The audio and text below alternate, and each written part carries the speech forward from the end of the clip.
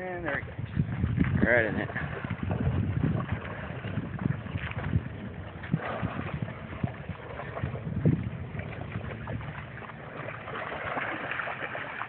Is that fun? Yep. Go right back. That's pretty deep. I love taking truck through